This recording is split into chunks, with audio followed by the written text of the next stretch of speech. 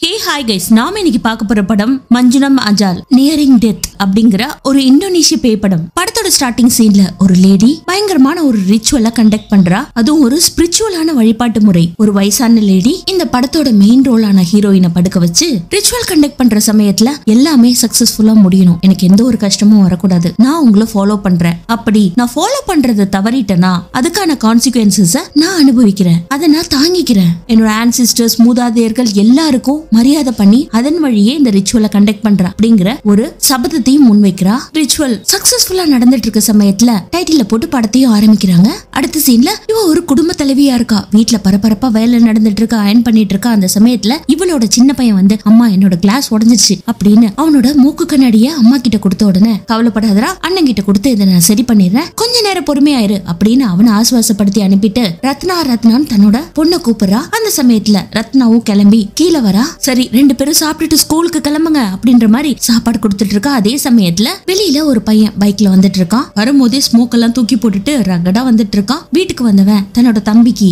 கண்ணாடிய மாட்டி விட்டு பாடா டோடி நீ ரொம்ப ஸ்மார்ட் ஆயிட்டே இருக்க அப்படிங்கிற மாதிரி சொல்லிட்டு அவனோட தங்கச்சி கிட்ட என்ன எந்த நேரம் பார்த்தாலும் மொபைல்லே இருக்க யாரையாவது லவ் பண்றியா? அப்படின்னு கேட்ட உடனே இங்க பாரு ஏதாவது ஹோம் ஒர்க் இருக்கா இல்லையான்னு என்னோட ஃப்ரெண்ட்ஸ் கிட்ட கேட்டுட்டு இருக்க. அதை விட்டுட்டு லவ் பண்றியா அது இதுன்னு கேட்டுட்டு இருக்க. வேணா பாரு மெசேஜ பாரு அப்படின்னு அவன் மொபைல்ல இருக்க மெசேஜ காமிச்சோன்னா சரி சரி கோவப்படாத நல்லா படி அப்படிங்கிற மாதிரி அவகிட்ட சொன்ன உடனே ரெண்டு பேரும் அக்கா தம்பி ரெண்டு பேரும் ஸ்கூலுக்கு கிளம்பிடுறாங்க. இந்த பக்கம் வந்திருக்க மூத்த பையன் கிட்ட சாப்பாடெல்லாம் போட்டு இங்க பாடா நீ செய்யறது சரியில்லை. வீட்டுல தங்க மாட்டேங்கிற அங்க இங்கே அலைஞ்சிட்டு இருக்க. காலேஜுக்கு போக மாட்டேங்கிற நல்லா படிக்க மாட்டேங்கிற. நீ என்னதான் நினைச்சிட்டு இருக்க? நம்மளோட வாழ்வாதாரம் ரொம்ப கஷ்டமா போயிட்டு இருக்கு நீ ஏதாவது ஒண்ணு பண்ணி உன்னோட தங்கச்சியும் தம்பியும் பார்த்து பண்ணு. நான் எத்தனை நாள் கனவு காண்றது? நீ படிச்சா தானடா நல்ல வேலைக்கு போக முடியும்? அப்படின்னு தன்னோட புள்ள சாப்பிட்டுட்டு இருக்க சமயத்துல பயங்கரமா அம்மா கத்த அம்மா இங்க பாருங்கம்மா. என்னால நீங்க சொல்ற மாதிரி காலேஜுக்கு எல்லாம் போய் படிச்சு டிகிரி வாங்கி அதுக்கப்புறம் வேலையெல்லாம் செய்ய முடியாது. நான் இப்போ மெக்கானிக் தொழில கத்துக்கிறேன். மெக்கானிக் ஷாப்ல கத்துக்கிட்டாதான் அது. சீக்கிரமா பயன் கொடுக்கும். அதை பத்தி உங்களுக்கு தெரியாது. நான் காலேஜுக்கு போய் டிகிரி வாங்கி அதுக்கப்புறம் நான் ட்ரைனிங் எடுத்து ஒரு நல்ல மெக்கானிக் ஆகிறத விட இப்படியே நான் கத்துப்பேம்மா. கொஞ்ச நாள் எனக்கு டைம் கொடுங்க நான் எல்லாத்தையும் சரி பண்ணிடுறேன் அப்படின்னு சொன்ன உடனே இல்ல நீ நான் சொல்றதை கேட்க மாட்டேன். அதனால நீ இந்த வீட்டுல இருக்காத. அப்படின்னு சொன்ன உடனே அவன் சாப்பிட்டுட்டு இருக்கவனுக்கு ஒரு மாதிரி ஆயிடுது. என்னம்மா சொன்னீங்க? அப்படின்னு திரும்ப ரிப்பீட் பண்ணி கேட்ட உடனே நீ இந்த வீட்டுல இருக்காத. ஏன்னா உன்னை பார்த்து உன்னோட தங்கச்சியும் தம்பியும் கெட்டு போறதுக்கு வாய்ப்புகள் அதிகமா இருக்கு. தயவு செய்து இந்த வீட்டை விட்டு வெளியில போ. அப்படிங்கிற மாதிரி அம்மாவும் ரொம்ப கோவமா சொல்லிடுறா. அதை கேட்ட உடனே சரி இன்னைக்கு நீங்க என்ன வெளியில போக சொல்றீங்க. நானும் சாதிச்சு காட்டுறேன். அப்படிங்கிற மாதிரி அம்மா கிட்ட சொல்லிட்டு அவனும் வெளியில போயிடுறான். அவன் போனதுக்கு அப்புறம் அவங்க அம்மா தேம்பி தேம்பி அழறாங்க. என்னதான் அம்மா திட்டினாலும் அடுத்த நொடி தன்னோட பிள்ளைக்காக தானே அழுவாங்க. அங்க கட் பண்ணி அடுத்த சீன்ல காட்டுறாங்க. இவங்க ஒரு ரெஸ்டாரண்ட் வச்சு நடத்திட்டு இருக்காங்க. அதான் இவங்களோட வாழ்வாதாரமே. மார்க்கெட்டுக்கு போனவங்க மீன் கறி கீரை காய்கறி அது இதுன்னு எல்லாத்தையும் வாங்கிட்டு வராங்க. ரெஸ்டாரண்ட்டுக்குள்ள வந்த உடனே ஒரு தம்ம பத்த வச்சு அத சாமி படத்துக்கிட்ட ஊதுபத்தி ஏத்தி வைப்போம் இல்லைங்களா? அது மாதிரி ஃப்ரிட்ஜுக்கு மேல ஏதோ ஒரு படையில வச்சிருக்காங்க. ஊதுபத்திக்கு பதில ஒரு சிகரெட்டை பத்த வச்சு அந்த இடத்துல வைக்கிறாங்க. அதுக்கப்புறம் அவங்களுக்காக வேலை செஞ்சுட்டு இருக்க ஆட்கள் கிட்ட தடபுடல சமையல் பண்ணுங்க அப்படின்ற மாதிரி ரெசிபிஸ் எல்லாம் சொல்லிட்டே இருக்காங்க. அங்க கட் பண்ணி காலேஜ்ல காட்டுறாங்க. காலேஜுக்கு போன ரத்னா அண்ணன் சந்தேகப்பட்ட மாதிரியே ஒரு பையன் கிட்ட பேசிட்டு இருக்கா. அவனோட பேர் பிரம். அவன் இவ்வளவு அடிக்கடி வெளில கூட்டு போவான் போல இருக்கு. ஆல்ரெடி ஸ்பேரா ஒரு ஹெல்மெட்டும் வச்சிருக்கான் அதை அவ தலையில போட்டு விட்டேன்னு என்னோட ஹேர் ஸ்டைல் எல்லாம் கழிச்சிடாதடா அப்படிங்கிற மாதிரி போட்டுக்கிறா அதே சமயத்துல. இந்த வீட்டோட மூத்த பையனை காட்டுறாங்க. டேனி ஒரு மெக்கானிக்கல் ஷாப்ல வேலை பார்த்துட்டு இருந்தான் இல்லையா? அங்க அவன் நல்லா வேலை பார்த்ததுக்காக அவனோட முதலாளி வந்து இங்க பாரு நீ கடைக்கு வந்து வேலை செய்ய ஆரம்பிச்சதுல இருந்து நிறைய கஸ்டமர்ஸ் வந்துட்டாங்க. அதனால நான் ரொம்ப சந்தோஷமா இருக்கேன். இந்த அவனோட சேலரி அப்படின்னு கொடுத்த உடனே அவனும் சந்தோஷப்படுறான். அன்னைக்கு நைட் வீட்லயும் காட்டுறாங்க பொண்ணு எனி டைம் மொபைல்ல மெசேஜ் பண்ண வண்ணமாவே உட்காந்துட்டு இருக்கா. அந்த சமயத்துல வீட்டுல குட்டி பையன் டோடி படிச்சிட்டு இருப்பாங்க. அவனுக்கு தண்ணி தாகம் எடுக்கும். கிளாஸ பாக்குறான். தண்ணி இல்ல. நேரா அக்கா கிட்ட வந்து யாருக்கு மெசேஜ் பண்ணிட்டு இருக்க? என்ன பண்ற? அப்படின்னு கேட்ட உடனே இதெல்லாம் உனக்கு தேவையில்லாத வேலைடா. என்ன வேணும் உனக்கு? அப்படின்னு கேட்ட உடனே எனக்கு ரொம்ப தண்ணி தாகமா இருக்கு. எனக்கு கொஞ்சம் தண்ணி எடுத்துட்டு வந்து கொடுக்குறியா? அப்படின்னு கேட்ட உடனே அதெல்லாம் முடியாது. நீயே போய் எடுத்துக்கோ. அப்படின்ட்டு பொறுப்பே இல்லாம அவ தன்னோட பெட்டுக்கு போய் உட்காந்து திரும்பவும் கண்டினியூவா மெசேஜ் பண்ண ஆரம்பிச்சுட்டு அதுல ஜாலியா இருக்கா? குட்டி பையனுக்கோ தண்ணி தாகம் என்ன பண்றதுன்னு தெரியாம தனியாவே கீழே இறங்கி வரான். கீழே பார்த்தா ஏதோ சத்தம் கேக்குற மாதிரி இருக்கு. படியிலே நின்னுக்கிட்டு கிச்சனையே உத்து பார்த்துட்டு இருக்கான் அப்ப ஏதோ ஒரு கருப்பு உருவம் பொறுமையா நடந்து போற மாதிரி இருக்குங்க. திடீர்னு அந்த உருவம் இவனோட பின்னாடி நின்னு அப்படியே பயமூத்த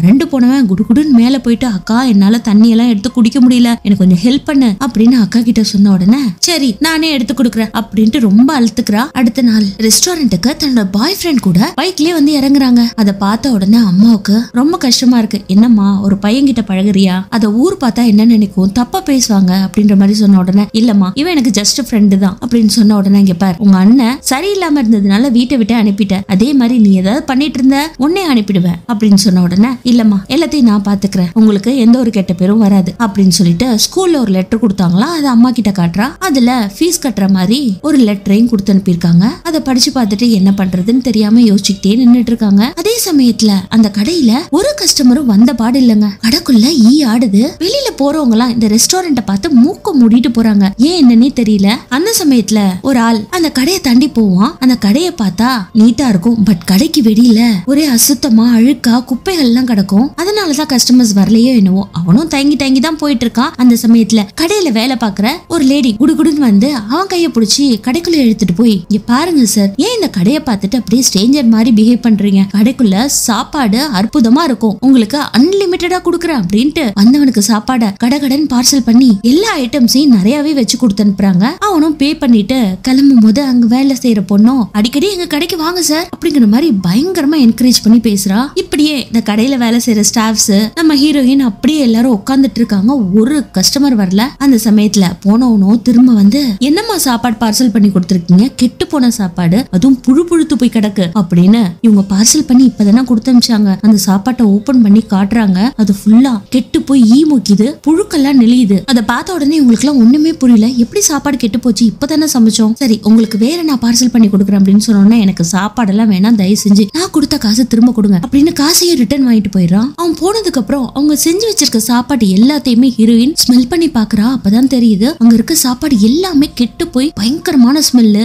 சாப்பாட்டை காட்டுறாங்க அது நாலு நாள் ஆனா எப்படி இருக்கும்? அது மாதிரி நொத நொதன்னு ஒரு மாதிரி இருக்கு. முதலுக்கே மோசம்ன்ற மாதிரி செஞ்ச எல்லா சாப்பாட்டையும் எடுத்து கொட்டிடுறாங்க. இவங்க கடையில இருக்க அப்பப்ப அந்த படையிலையும் ஏதோ ஒரு பொம்மை மாதிரி கட்டி வச்சிருக்காங்க. அதையும் பாத்துக்கிட்டே இருக்காங்க. எதுவுமே சரியில்லைன்னு டக்குன்னு கிளம்புனவங்க அந்த கடையில இருக்கிற ரோதியா அப்படின்னு ஒரு லேடியை கூப்பிட்டு நீ என் கூட வா. நம்ம ஒரு இடத்துக்கு போறோம். அப்படின்ட்டு அவசர அவசரமா கிளம்பினோன்னு எங்க மேடம்? அப்படின்னு அந்த லேடியும் கேக்குறாங்க. அதுக்கு எந்த பதிலும் சொல்லாம பரபரப்பா இவங்க கார்ல ஏறி ஏதோ ஒரு இடத்துக்கு போறாங்க. இருட்டியும் போயிடுதுங்க. கார் போய் ஒரு வீட்டு வாசல்ல நின்ன உடனே அந்த ரோதியாங்கிற லேடியோ மேடம் இந்த வீட்டுல யாரோ இறந்து போயிருக்காங்க போல இருக்கு. அப்படின்னு சொன்ன உடனே ரெண்டு பேரும் கீழே இறங்கி போய் அந்த வீட்டு வாசல்ல ஒரு லேடி நின்னுட்டு இருப்பாங்க. அவங்க கிட்ட என்னாச்சு? மேக் ஆம்பர் எப்ப இறந்து போனாங்க? அப்படின்னு கேட்டோன்னே இன்னைக்கு மத்தியானம் நாலு மணி இருக்கும். திடீர்னு பேய் பிடிச்ச மாதிரி கத்துனாங்க. அவங்க முகத்தை அவங்களே கீறிக்கிட்டாங்க. அதுக்கப்புறம் கொடூரமா இறந்து போயிட்டாங்க. அவங்களோட டெட் பாடி வீட்டுக்குள்ளதான் இருக்கு. எல்லாரும் இருக்காங்க. நான் எங்க வீட்டுக்கு போகணும். நான் கிளம்புறேன். அப்படின்ட்டு அந்த லேடி போனோன்னே ஹீரோயினும் அந்த வீட்டுக்குள்ள போறா. டெட் பாடியும் இருக்குங்க. எல்லாருக்கும் ஒரு வணக்கத்தை வச்சுட்டு டெட் பாடி கிட்ட போய் அமைதியா அந்த டெட் பாடியை பார்த்துட்டு இருக்கும்போது முகமெல்லாம் கீரலா இருக்கு அந்த டெட் பாடிக்கு திடீர்னு மூக்குல இருந்த பஞ்சு கீழே விழுகுமா? அதை பார்த்த உடனே இவளுக்கு ஒரு மாதிரி ஆயிடுது. பக்கத்துல யார் இருக்கா? அப்படின்ற மாதிரி கூப்பிட்டு கூப்பிட்டு பாக்குறா மேடம் யாராவது இருக்கீங்களா? அப்படின்ற மாதிரி கத்துறா. யாருமே இல்லைன்னு அந்த பஞ்சு எடுத்து திரும்ப அந்த டெட் பாடிக்கு அவளே வச்சுட்டு அப்படியே உட்கார்ந்துட்டு இருக்கும்போது திடீர்னு அந்த டெட் பாடியோட கண்ணு திறக்குது. அதை பார்த்த உடனே இவளுக்கு பயம் வந்துருது. அதே சமயத்துல அந்த டெட் பாடியில இருந்து அசைவுகளும் ஏற்பட்டு டக்குன்னு அந்த டெட் பாடி இவளை பார்த்து இவன் முகத்துல அப்படியே கருப்பு கலர் ரத்தத்தை அப்படியே துப்பிடுதுங்க. அதை பார்த்தவ பயங்கரமா கத்தி அலறி துடிக்கிறா. அந்த இடத்துக்கு எல்லாரும் ஓடி வந்துடுறாங்க.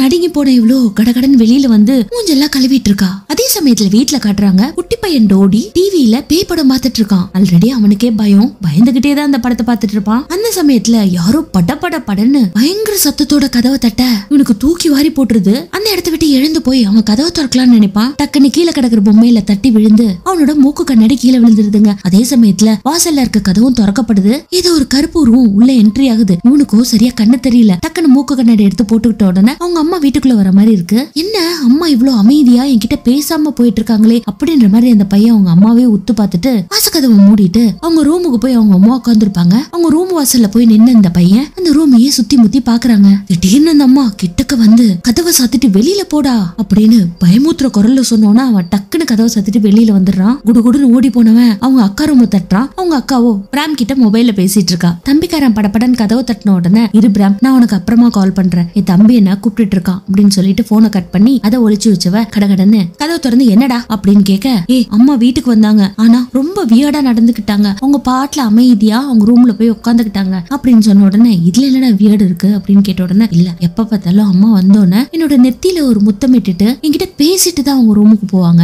ஆனா இன்னைக்கு வித்தியாசமா இருந்துச்சு. அப்படின்னு சொன்ன உடனே அதுக்குதான் பேய் படம் பார்க்காதன்னு சொல்றது. எப்ப பார்த்தாலும் பேய் படத்தை பார்த்துட்டு எனக்கு பயமா இருக்கு பயமா இருக்குன்னு புலம்ப வேண்டியது. வாடா அப்படின்னு அவனை கூட்டிட்டு கீழே வந்தவ அவங்க அம்மா ரூமுக்கு போறதுக்கு முன்னாடியே திரும்பவும் கதவு படப்படன்னு தட்டுது. ஆனா இந்த தடவை பொறுமையா தான் தட்டப்படுது. ரெண்டு பேரும் போய் கதவு திறந்து பார்த்தா அம்மாவும் ரோதியா ஆண்டியும் வெளியில நிக்கிறாங்க. அவங்க ரெண்டு பேரையும் பார்த்த உடனே இவங்க ரெண்டு பேருக்கும் வாயடிச்சு போயிடுது. அமைதி அப்படியே நின்னுட்டு இருக்கும்போது எப்பவும் போல அவங்க அம்மா வந்து அந்த குட்டி பையனோட தலையில ஒரு முத்தமிட்டுட்டு அவங்க கிட்ட ரெண்டு வார்த்தை பேசிட்டு அவங்க ரூமுக்கு போயிடுறாங்க அவங்க போன அப்புறம் அந்த குட்டி பையன் கிட்ட ஏண்டா அம்மா ஆல்ரெடி வந்துட்டாங்க. என்கிட்ட பேசல முத்தமிடல. எனக்கு பயமா இருக்கு. அம்மா வித்தியாசமா நடந்துக்கிறாங்கன்னு ஆ ஒண்ணு புலமுனியே இப்பதாண்டா அம்மா வீட்டுக்கு வராங்க. அப்படின்னு சொல்லிட்டு அவனை கூட்டிட்டு போயிடுறா. அதே சமயத்துல ரூம்குள்ள காட்டுறாங்க. அந்த ஹீரோயினும் அப்படியே படுத்துக்கிட்டு அசைவே இல்லாம இருக்கா. அந்த சமயத்துல பயங்கரமான மியூசிக் திடீர்னு அவளுக்கு உடம்பெல்லாம் தூக்கி தூக்கி போடுது. வேர்த்து விறுவிறுத்து போனவ டக்குன்னு பெட்ல இருந்து எழுந்து உட்கார்றா. அப்பன்னு பார்த்து ரேடியோல திடீர்னு பாட்டு பாடுமா? அதை எழுந்து போய் ஆஃப் பண்ணவ பக்கத்துல இருக்க கபோர்ட் பொறுமையா ஓபன் ஆறத பாக்குறா. அந்த சமயத்துல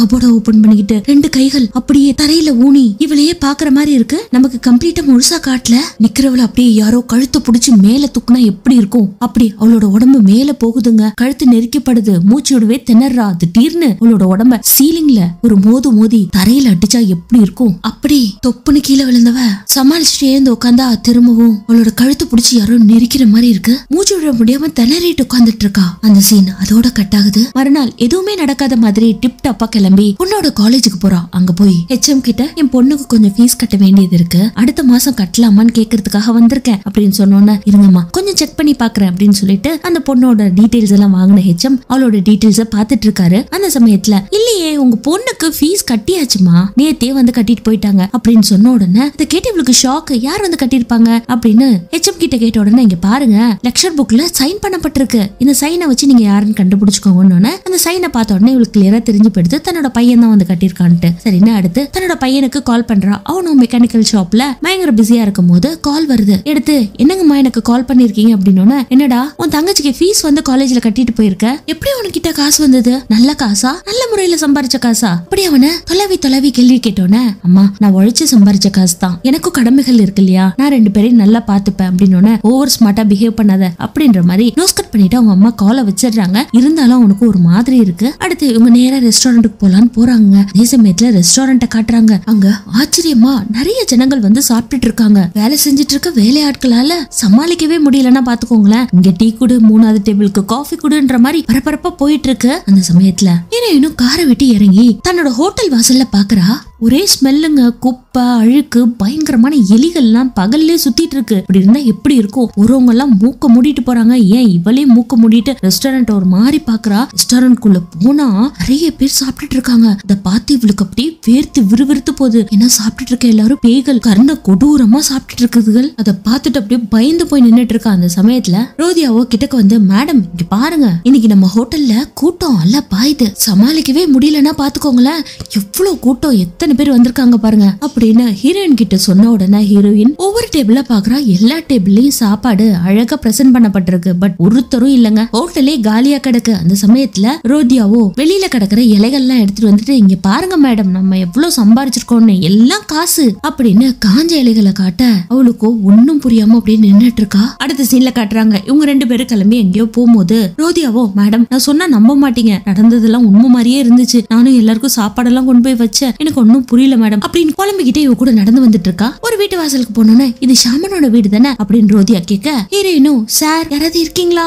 அப்படின்னு கூப்பிட்டு கூப்பிட்டு பாக்குற திடீர்னு ஒருத்தர். இவங்க ரெண்டு பேர் பின்னாடி வந்துட்டு யாரம்மா தேடுறீங்க? அப்படின்னு நான் ஷாமனை தேடி வந்திருக்கேன். அப்படின்னு வாங்கம்மா உள்ள வாங்க. அப்படின்னு கூட்டிட்டு உள்ள போயிடுறாரு. ஹீரோயினும் அவரோட முன்னாடி உட்காந்து எனக்கு மூணு மாசமா பிசினஸ் சரியா வரல. அமானுஷமா எது எது நடந்துட்டு இருக்கு அப்படின்னு சொல்லும் போதே உன்னோட பேரு டேட் ஆஃப் பர்த் எழுதுமான்னு அவளை எழுத சொல்றாரு. அவளும் எழுதணும்னு கிட்டக்கவா அப்படின்னு சொல்லிட்டு ஏதோ ஒரு இலைய வச்சு தலையில மந்திரிக்கிற மாதிரி மந்திரிச்சு விட்டுட்டு இருக்காரு அந்த சமயத்துல அவர் கையில ஏதோ கத்தி மாதிரி வச்சுக்கிட்டு மந்திரத்தை போட ஹீரோயினும் முறுக்கிட்டு உட்காந்துருக்கா யார் நீ? அப்படின்னு இவர் கேட்ட உடனே திடீர்னு. ஹீரோயினோட முகமே மாறுதுங்க. கண்ணெல்லாம் ரெட் கலர்ல ஆகிருது என்னோட பேர்? நேவிங்கி இந்த விஷயத்துல நீ தலையிட்டனா உன்னை நான் கொன்னுடுவேன் அப்படின்னு பயங்கரமா பயமுத்துது அதே சமயத்துல அந்த ஷாமனுக்கும் உடம்பெல்லாம் தூக்கி தூக்கி போடுதுங்க. திடீர்னு அவர் கீழே விழுகிறாரு. மூக்கு வாயெல்லாம் ரத்தம். கீழே விழுந்தவர் கத்தி மாதிரி ஆயுதத்தை எடுத்து திரும்பவும் வச்சுக்கிட்டு ஹீரோயினை பார்க்கும்போது அவ நார்மல் ஸ்டேஜ்ல இருக்கா? எனக்கு என்னாச்சு? அப்படின்னு ஷாமனை பார்த்து கேட்ட உடனே இங்க பார். நீ ஒரு பெரிய ஆபத்துல மாட்டிட்டு இருக்க. நீ ஞாவிங்கின்னு ஒரு ஜின்ன ஆல்ரெடி வழிபட்டு இருக்க அதுக்கு நீ ஆஃபரிங்லாம் பண்றதா? ஒப்புதல் கொடுத்துருக்க. நீ இப்ப எதையுமே பண்ணல. அதனால அந்த ஜின் ஒன்னா பழி வாங்கும். உன் குடும்பத்தையும் அழிச்சிரும் உன்னையும் அழிச்சிரும். இப்போ அந்த கெட்ட ஜின் உன் உடம்புல இருக்கு. அதை ஃபர்ஸ்ட் நீ வெளியில எடுக்கணும் அப்படின்னு சொன்ன உடனே அதுக்கு நீங்க ஹெல்ப் பண்ணுவீங்களா சார் அப்படின்னு ஷாமனை பார்த்து கேட்ட உடனே என்னால முடியாது. யார் உன் உடம்புல அந்த ஜின்னை வச்சாங்களோ அவங்க தான் எடுக்கணும். அப்படி இல்லனா அதை விட ஹையர் பவர் இருக்கிறவங்களால மட்டும்தான் எடுக்க முடியும். ஓ சீக்கிரமா அந்த ஜின்னு வெளியில எடு. முதல்ல இந்த வீட்டை விட்டு போ அப்படின்னு கத்துறாரு இவங்களும். அந்த வீட்டை விட்டு வெளியில வந்தவங்க வேற ஒரு வீட்டை நோக்கி போறாங்க. அந்த சமயத்துல ரோதியாவோ அந்த வீட்டுல யாருமே இல்லைன்னு நினைக்கிறேன் மேடம் அப்படின்னு சொன்ன உடனே வெயிட் பண்ண கொஞ்ச நேரத்துல யாராவது வருவாங்க அப்படின்னு நம்ம ஹீரோயின் சொல்லிட்டு இருக்கும் போதே அந்த வீட்டோட ஜன்னல்ல யாரோ நகர்ற மாதிரி இருக்கு. டக்குனு ரோதியா நான் ஒருத்தவங்கள பார்த்தேன். அந்த வீட்டுக்குள்ள யாரோ இருக்காங்க. அப்படின்னு சொன்ன உடனே என் கண்ணுக்கு எதுவும் தெரியலையே? வா உள்ள போய் பார்க்கலாம். அப்படின்னு சொல்ல மேடம் மேடம் எனக்கு கொஞ்சம் பயமா இருக்கு. நான் வெளியிலே நின்னுட்டு இருக்கேன். நீங்க போய் என்னன்னு பார்த்துட்டு சீக்கிரமா வாங்க. அப்படின்னு ரோதியா வெளியில நின்னுறா. இவளும் போய் யாராவது இருக்கீங்களா? இருக்கீங்களான்னு கூப்பிட்டு பார்த்துட்டு ஜன்னல் வழியெல்லாம் பாக்குறா யாருமே உள்ள இருக்க மாதிரி தெரியலங்க. திடீர்னு அந்த வீட்டோட கதவு திறக்குது. ஹீரோயினும் உள்ள போய் யாராவது இருக்கீங்களா? அப்படின்னு தேடி தேடி பாக்குறா ஒருத்தரும் குரல் கொடுக்கல. ஆனா அந்த வீட்ல ஒரு கண்ணாடி இருக்கு. அந்த கண்ணாடியில ஒரு உருவம் தெரியுதுங்க. ஸ்கிரீனை தள்ளிக்கிட்டு ஒரு உருவம் வர மாதிரி இருக்கு. இவளும் பொறுமையா பின்னாடி திரும்பி பார்த்து ஈலன் கத்த.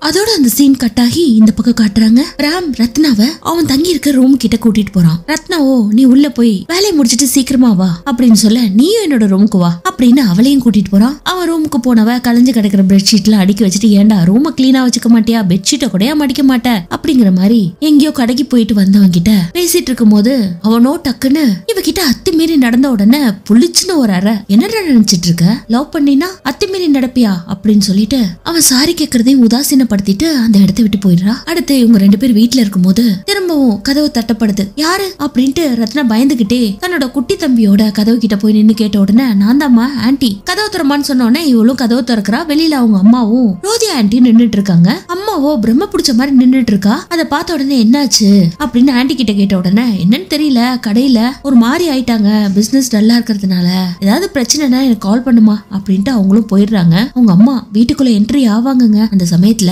அந்த குட்டி பையன் கண்ணுக்கு அவங்க அம்மா பின்னாடி யாரோ ஃபாலோ பண்ற மாதிரி தெரியுது. அவனோட அக்கா கிட்ட அக்கா நம்ம அம்மாவை யாரோ பின் தொடர்ந்து போறாங்கக்கா அப்படின்னு சொன்ன உடனே டேய் உனக்கு இதே வேலையா போச்சு. சும்மா இருக்கியா? அம்மா மட்டும் தான் போறாங்க. என் கண்ணால நானே பார்த்தேன். அப்படின்னு இவங்க ரெண்டு பேர் பேசிட்டு இருக்கும்போது உள்ள தண்ணி சவுண்ட் கேக்குது. கூடவே என் உடம்பெல்லாம் எரியுது. அப்படிங்கிற மாதிரி ரிப்பீட்டடா கத்த என்ன சத்தம் வருது? வருதுன்னு உள்ள போய் பார்த்தா அம்மா பாத்ரூம்ல உட்காந்துட்டு தண்ணிய முண்டு முண்டு தலையில ஊத்திட்டு இருக்காங்க. என் உடம்பெல்லாம் எரியுது அப்படின்னு சொல்லிக்கிட்டே தண்ணிய ஊத்திட்டு இருக்கும்போது இந்த குட்டி பையன் அந்த பாத்ரூம்ல அம்மா பக்கத்துல அந்த பேய் உருவம் நிக்கிறத நல்லாவே கவனிக்கிறான். அடுத்து அம்மாவை துடைக்கணும்டா துண்டு எடுத்துட்டு வா அப்படின்னு தம்பி கிட்ட சொன்ன உடனே குடுகுடுன்னு இவனும் போய் ஹால்ல இருக்க துண்டை எடுத்துட்டு அக்காட்ட கொடுக்கலான்ட்டு ஓடி வருவான். பட் துண்டை யாரும் இழுக்கிற மாதிரி இருக்கும். இவனும் இழுத்து இழுத்து பாக்குறான் பின்னாடி திரும்பி பார்த்தா ஏதோ ஒரு உருவம் மாதிரி இருக்க டக்குன்னு அவன் கீழே விழுந்துடுறான். அவன் விழுந்த சத்தத்தை கேட்டு அக்காவோ வெளியில ஓடி வந்து ஏண்டா இங்க இருக்க துண்டை எடுத்துட்டு வர முடியாதா? இவ்வளவு நேரம் ஆக்குவியா அப்படின்ட்டு துண்டை எடுத்துட்டு கடகடன்னு அவங்க அம்மாவுக்கு தொடச்சு விட்டு பெட்ல கொண்டு வந்து படுக்க வச்சிடறா. அவங்க அம்மாவோட உடம்பெல்லாம் அப்படியே புண்ணா இருக்கு ஜுரமும் அதிகமா இருக்கு. சரி இதையாவது சாப்பிடுங்கம்மா அப்படின்னு ஒரு ரெண்டு வாய் ஊட்டுவா. அவ்வளவுதான். அதே இடத்துல கருப்பு கலர்ல வாமிட் எடுக்க ஏய் நீ அம்மா பக்கத்துலயே இரு. எப்படியாவது நான் யார்கிட்டயாவது உதவி கேக்குறேன் அப்படின்னு சொன்னவ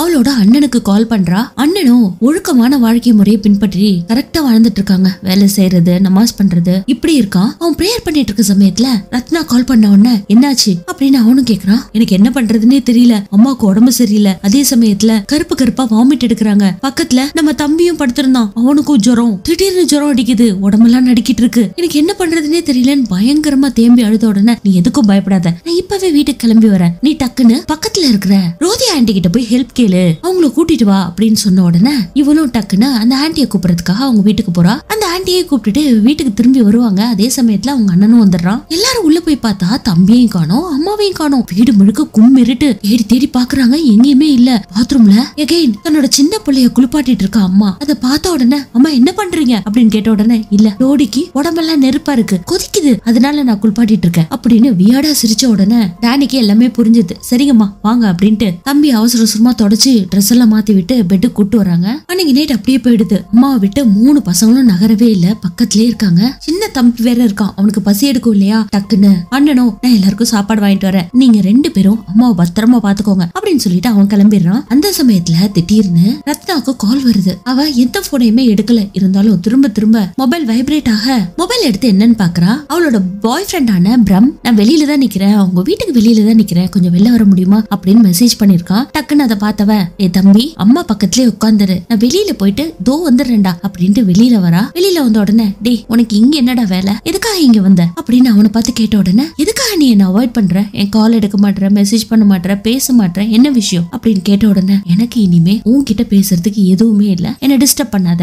அப்படின்னு சொன்ன உடனே அப்பனா நம்ம இனிமே ஒன்னா வாழ போறது இல்லையா? அப்படின்னு கேட்ட உடனே ஒழுக்கங்கிட்ட உன்னோட நான் இனிமே ஒன்னா வாழ மாட்டேன் அப்படின்னு ஃபைனலா சொல்லிடுறா. அதை கேட்ட உடனே அவனுக்கு பயங்கர கோவம் வந்தது. அவன் மொபைல்ல இவங்க ரெண்டு பேரும் முத்தம் கொடுத்த மாதிரி ஒரு போட்டோ வச்சிருப்பாங்க. அதை காட்டி அவளை பயங்கரமா மிரட்டுறான். இங்க பாரு இந்த போட்டோவை உங்க அம்மா கிட்ட காமிச்சா என்ன நடக்கும்னு தெரியுமா? அப்படின்னு பிளாக்மெயில் பண்ண உடனே அவளுக்கு இன்னும் கோவம் வந்துருது. முதல்ல அதை டெலிட் பண்ணடா டெலிட் பண்ணான்னு அவன் கிட்ட சண்டை போடும்போது அவனும் அவகிட்ட ஹாரஸ்மெண்டா நடந்துக்கிறான். நல்ல வேலையா அந்த சமயத்துல அவங்க அண்ணனும் அந்த இடத்துக்கு வந்துடுறான். யாரோ ஒருத்தன் தன்னோட தங்கச்சிய இப்படி கொடுமைப்படுத்திட்டு இருக்கானே அப்படின்ட்டு குடுகுடுன்னு ஓடி வந்தவன் ராம புடிச்சு ஒரே அற. யாரா நீ? என் தங்கச்சிய டார்ச்சர் பண்ணிட்டு இருக்கியே? அப்படின்னு கேட்ட உடனே நான் உன் தங்கச்சியோட பாய் ஃப்ரெண்ட் அப்படின்னு சொல்றான். டக்குன்னு அண்ணனுக்கு இதை கேட்ட உடனே ஷாக் தங்கச்சியும் ஒரு கண்ணால பாக்குறான். இருந்தாலும் அவளுக்கு இவங்கிட்ட பேசுறது விருப்பம் இல்லன்றத புரிஞ்சுக்கிட்டவன் இங்க பாரு. உன்ன மாதிரி ஒருத்தவங்க கூட என் தங்கச்சி இனிமே காலத்தை கடக்க மாட்டா. இனிமே அவ பக்கம் தலை வச்சு படுக்காத அப்படின்ட்டு அவனை விரட்டி விட்டுறான். கூடவே உட்காந்து அம்மா பாத்துட்டு இருக்காங்க. அந்த சமயத்துல உங்க அண்ணன் வீட்டுக்கு வந்தானாமா அப்படின்னு இது தப்புல உட்காந்துட்டு இருக்க இந்த புள்ளிய பத்தியே அம்மா விசாரிக்க. அம்மா நான் இங்கதாம்மா இருக்கேன். உங்க பக்கத்துல தான் இருக்கேன். அப்படின்னு சொன்ன உடனே எனக்கு உங்க மூணு பேரையும் ரொம்ப பிடிக்கும். நீங்கன்னா எனக்கு உயிர். உங்க அப்பாவை எனக்கு அதுக்கு மேல பிடிக்கும். அவர் இறந்ததுக்கு அப்புறம் நான் சத்தியம் பண்ணேன் உங்களை எக்காரணத்தை கொண்டும் பிரிய மாட்டேன். உங்களை நல்லா வளர்ப்பேன். அப்படின்ற மாதிரி. அதுக்காக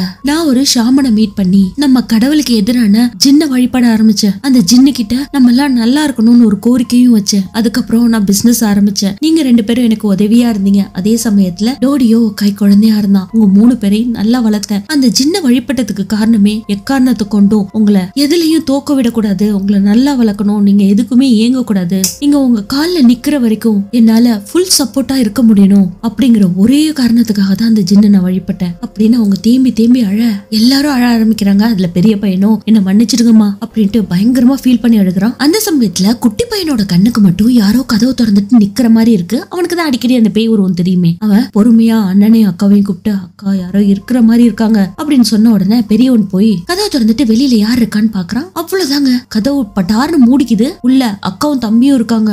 அம்மா பாத்தீங்கன்னா பேய் ஆட்டம் ஆட ஆரம்பிக்கிறாங்க. ரெண்டு பேரையும் புரட்டி புரட்டி எடுக்க வெளியில அண்ணனும் கதவை திறக்கிறதுக்கு ட்ரை பண்றான் பட் முடியல. தம்பியும் கதவு கிட்ட நின்னுட்டு திறக்கிறதுக்காக ஹேண்டில் பிடிச்சி திருவிட்டு இருப்பான். டேய் தம்பி நீ தள்ளிக்கோடா நான் எப்படியாவது உடைச்சிட்டு உள்ள வந்துடுறேன். அப்படின்னு சொல்லிட்டு அவன் கதவை உடைச்சிட்டு இருக்கும்போது அவங்க அம்மாவோ தன்னோட தலைய கண்ணாடியில மோதி மோதி கண்ணாடியும் உடைச்சிடுறாங்க அதுல ஒரு துண்டு எடுத்து தன்னோட கையில தானே கீறிக்கிட்டு கொட்டூரமா நடந்துக்கிறாங்க. அதை பார்த்துட்டு அம்மாவை எப்படியாவது தடுக்கணும்னு ரத்னாவும் ட்ரை பண்றா. பட் அவளை தள்ளி விட்டு அவளோட கால்லே கண்ணாடியால வெட்டிடுறாங்க. அதே சமயத்துல இவனும் கதவை உடைச்சிட்டு உள்ள வந்துடுறான். அந்த போர்ஸ்ல அவங்க அம்மாவை மட்டும் ரூம்குள்ள போட்டு டமால்ல கதவை மூடிடுறான். இந்த பக்கம் தங்கச்சிக்கு பயங்கரமான காயம். அவ பயங்கரமா தேம்பி தேம்பி அழ. இத ஊர்ல இருக்க பெரிய மனுஷங்க எல்லார்கிட்டயும் சொல்லிடுறான். எல்லாரும் இவங்க அம்மா இது மாதிரி இருக்கிறதுனால ஒரு பிரேயர் ஹேண்டில் பண்ணலாம் அப்படின்னு சொல்லிட்டு ஊர் தலைவர்கள்ல இருந்து மொத்த பேரும் வந்து ஒன்னா கூடி இருக்காங்க அதே சமயத்துல இவனோட முதலாளியும் அந்த இடத்துக்கு வராரு. வந்தவரை உள்ள கூட்டிட்டு போனோன்னே பிரேயர் ஆரம்பிக்குதுங்க. பாதி பிரேயர் நடந்துட்டு இருக்கும் அந்த சமயத்துல அவங்க அம்மா பயங்கரமா அலற இந்த மூணு பசங்களும் எந்திரிக்க ட்ரை பண்றாங்க. அப்ப அங்க இருக்கவங்களும் எந்திரிக்காதீங்க.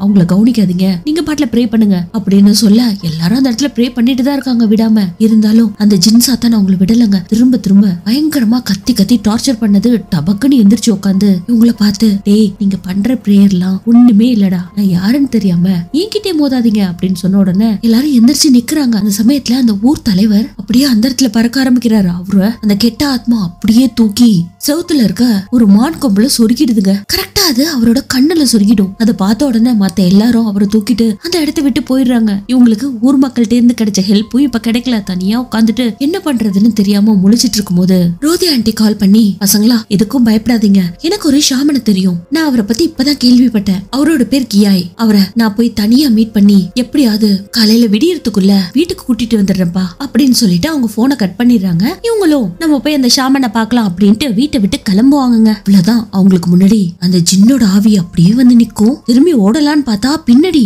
அதே ஜின். ஆடைகளே இல்லாம அப்படியே நின்னுட்டு இருக்கு அலறி அடிச்சுக்கிட்டு வீட்டை நோக்கி ஓடுறாங்க. டப்புன்னு வீட்டுக்குள்ள போனவங்க கதவையும் சாத்திட்டு அப்பாடான்னு பெருமூச்சு விட திடீர்னு அந்த ஜின் தலைகீழ அவங்க முன்னாடி தொங்குமா? அதை பார்த்துட்டு வீச்சுன்னு கத்த அந்த சீன் அதோட கட் ஆகுது. மறுநாள் வீட்டுல இந்த மூணு பசங்க பெரியவனோட ஓனர் ஹெல்ப்புக்கு இன்னும் ரெண்டு பேர். மொத்த பேரும் ஒரு மூங்கில்ல ஒரு ஸ்ட்ரக்சர் மாதிரி ரெடி பண்றாங்க. அதே சமயத்துல தங்கச்சியோ ரோதி ஆண்டிக்கு கால் பண்ணி பண்ணி பாக்குறா பட் லைனே போகல. என்னாச்சு? ஏன் உங்க போனை எடுக்கல? என்ன பிரச்சனையா இருக்கும்? நம்ம போய் நேரா பார்த்துட்டு வரலாம் அப்படின்ட்டு ஓனரை கூட்டிட்டு பெரியவ ரோதியா ஆண்டி வீட்டுக்கு போய் பார்த்தா அவங்க இறந்து போய் போனமா இருக்காங்க துக்கம் கொண்டாடுறதுக்கு எல்லாரும் இருக்காங்க. இவங்களுக்கு தான் எந்த நியூஸும் வரலன்னு நினைக்கிறேன். அதை பார்த்துட்டு பயங்கரமா ஃபீல் பண்ணிட்டு ஒரு பிரேயரையும் பண்ணிட்டு வீட்டை விட்டு வெளியில வரான். அப்போ டேனி கிட்ட இவங்க கடையில வேலை செய்யற இன்னொரு லேடி நான் எப்பவுமே ரெஸ்டாரண்ட்டுக்கு போறதுக்கு முன்னாடி ஆன்டியை பார்க்க வீட்டுக்கு வருவேன். அவங்க கூட தான் ரெஸ்டாரண்ட்டுக்கும் போவேன். இன்னைக்கும் அதே மாதிரி வந்தேன். ஆண்டியோ இறந்து போயிருந்தாங்க. அவங்களோட பாக்கெட்ல இந்த லெட்டரை பார்த்தேன் இந்தாங்க அப்படின்னு ஒரு லெட்டரை டேனி கிட்ட கொடுத்த உடனே அதை அவன் படிச்சு பாக்குறான் அதுல அந்த ஷாமனோட பேர் கியான்றதும் அவர் எங்க இருப்பாருங்கிற அட்ரஸையும் எழுதப்பட்டிருக்கு. அதை பார்த்த உடனே இவனோட ஓனர் எனக்கு இந்த இடம் நல்லாவே தெரியும். வா உங்க அம்மாவை கூட்டிட்டு போலாம் அப்படின்ட்டு கடகடன் வீட்டுக்கு போனவங்க ஸ்ட்ரக்சர்ல அவங்க அம்மாவை தூக்கி கார்ல போட்டுக்கிட்டு எல்லாரும் கிளம்பி போறாங்க ஆனா அந்த இடத்துக்கு போறதுக்குள்ள இருட்டியே போயிடுது. கொஞ்ச தூரத்துக்கு மேல அந்த மூங்கில் காட்டுல கார்ல போக முடியாததுனால ஸ்ட்ரக்சர்ல தூக்குனபடி இவங்க எல்லாரும் நடந்துட்டு இருக்காங்க. அந்த சமயத்துல ஈவினிங் ஈவினிங் டைமும் வந்துருது. அந்த சமயத்துல டேனியோட ஃப்ரெண்ட் ஒருத்தன் டே ஈவினிங் டைம் ஆயிருச்சு. ஈவினிங் ப்ரேயர் பண்ண வேண்டிய நேரம் வந்துருச்சு. இந்த காட்டுக்குள்ள ஒரு சின்ன சத்திரம் இருக்கு. அந்த இடத்துல உங்க அம்மா வச்சுட்டு நம்ம ப்ரேயர் பண்ணிட்டு அதுக்கப்புறம் கண்டினியூஸா தூக்கிட்டு போலாம்டா. அப்பதான் நமக்கு கடவுள் உதவியா இருப்பாரு. அப்படின்னு சொன்னோன்னா அதே மாதிரி அவங்களும் அந்த சத்திரத்தை நோக்கி போய் அங்க அவங்க அம்மாவோட பாடியை வச்சுட்டு ப்ரேயர் பண்ண ஆரம்பிக்கிறாங்க. எல்லாரும் ப்ரேயர் பண்ணிட்டு இருப்பாங்க. அந்த சமயத்துல அந்த குட்டி பையன் திடீர்னு அவங்க அம்மாவை திரும்பி பாக்குறான் அவங்க அம்மா பக்கத்துல அந்த பேய் உருவம் அப்படியே உட்காந்துட்டு அவங்க அம்மாவே பார்த்துட்டு இருக்கு. அதை பார்த்தவன் அப்படியே குனிஞ்சுக்கிறான். பிரேயரும் கம்ப்ளீட் ஆயிடுது. என்னடா தம்பி குனிஞ்சிட்டு இருக்கானேன்ட்டு. தம்பிய தூக்கி என்னடா ஆச்சு? அப்படின்னு கேட்ட உடனே அம்மா அப்படின்னு ஒரு வார்த்தை தான் சொல்லுவான். எல்லாரும் திரும்பி பாக்குறாங்க